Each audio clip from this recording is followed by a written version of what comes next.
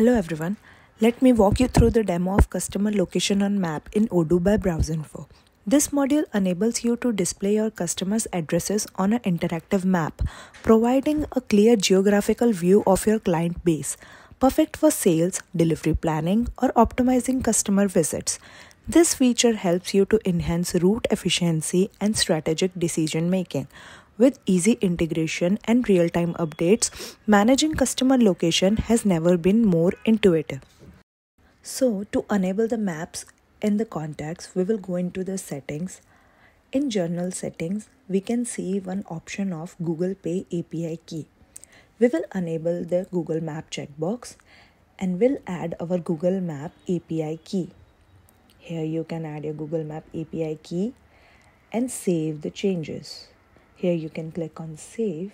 After that, you can go into the contacts and select any customer. Here you can see the address of the customer.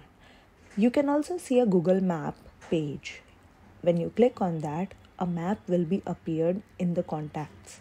Here you can see the map of the added address of a customer.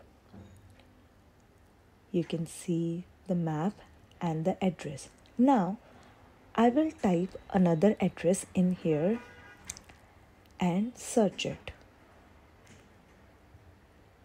When I search it, you can see in the map the following address has appeared.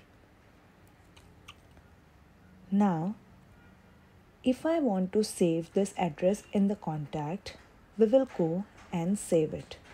Now you can see the customer address is changed to the current address. Here you can see the updated address in the address field.